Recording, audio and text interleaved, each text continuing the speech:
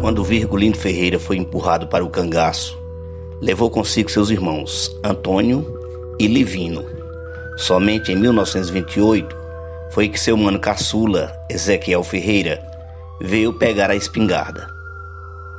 Todos os três foram mortos em combates.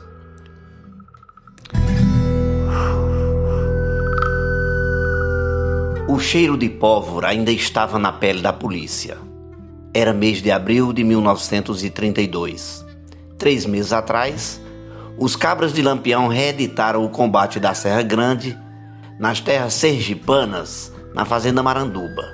Maranduba do Tupimara, que significa batalha, e Nhengue, que significa de forma mais clara falar muito de guerra ou história da guerra. Foi nesse combate que tombaram sete nazarenos. Ercílio de Souza Nogueira, genro de Gomes Jurubeba, Edelgísio de Souza Nogueira, irmão de Ercílio, Sargento João Cavalcante, vulgo João de Anísio, soldados Antônio Benedito, Elias Marques, Manuel Ventura e Pedrinho. Feridos Nestor Rodrigues, neto do velho Domingos Lopes. Isto somente da Força de Nazaré, porque foram dezenas que ficaram enterrados no solo do sertão de Sergipe. Morreram os cangaceiros, Sabonete, Quinquim e Catingueiro. De boca em boca corria a conversa. Em Maranduba, a volante e a fama dos cabras de Nazaré acabou-se. A mais encarniçada batalha que Manuel Neto teve contra Lampião.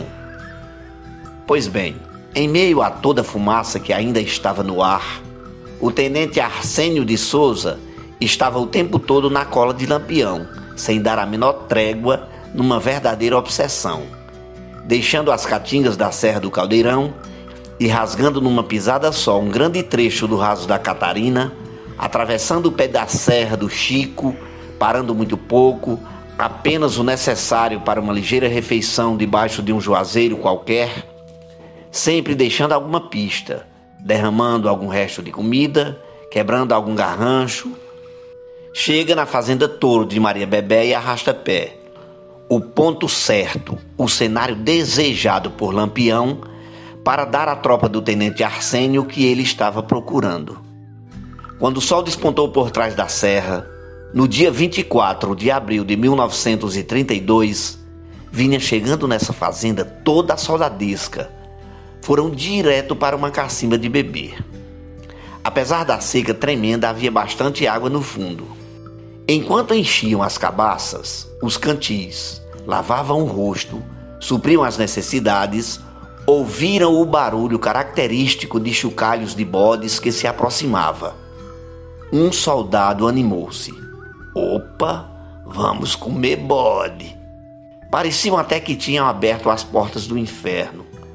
Uma saraivada de chumbo quente foi despejada brutalmente sobre aquela força, ficando estirados na hora quatro macacos, sendo o mais alvejado o sargento Leonelino Rocha.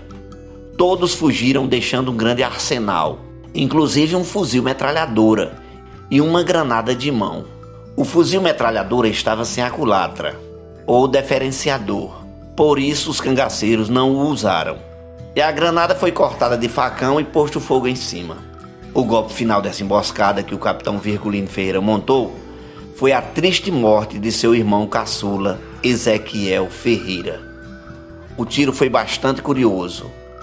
Ele atirava ajoelhado, isto é, o joelho direito no chão o esquerdo dobrado e erguido. O tiro atingiu a coxa esquerda e foi alojar-se no pé do umbigo, fazendo grande estrago na barriga. Ali mesmo fizeram o sepultamento. A morte de Ezequiel Ferreira foi um grande impacto na vida de Lampião. Agora completava três irmãos mortos na vida da espingarda. Agora só tinha o mano João, que vivia sendo perseguido pela polícia por ser sangue do seu sangue. Não tinha a ver com essa vida do cangaço. e era um homem pacato.